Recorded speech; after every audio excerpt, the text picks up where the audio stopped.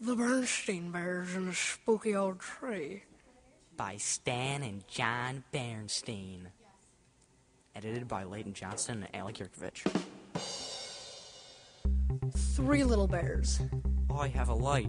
I have a stick, mate, I have a rope. and a spooky old tree.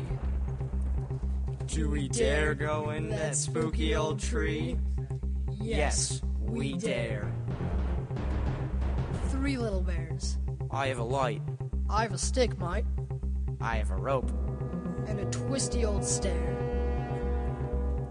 Do we dare go up that twisty old stair?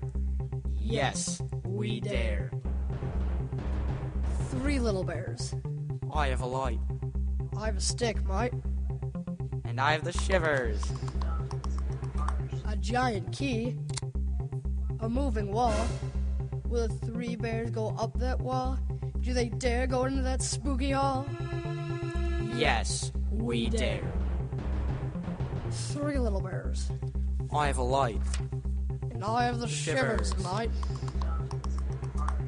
Great sleeping bear. Do they dare go over the great sleeping bear? Do they dare? Well, they came into the tree, they climbed the stair, they went through the wall and into the hall. So of course we went over the great sleeping bear. Three little bears. I don't have a light. I don't have a stick anymore, mate. And I don't have a rope. And I, have, the shivers. How will we ever get out of here? Up a ladder, through the floor, down a slide, and out the door. Three little bears running fast, home again, safe at last.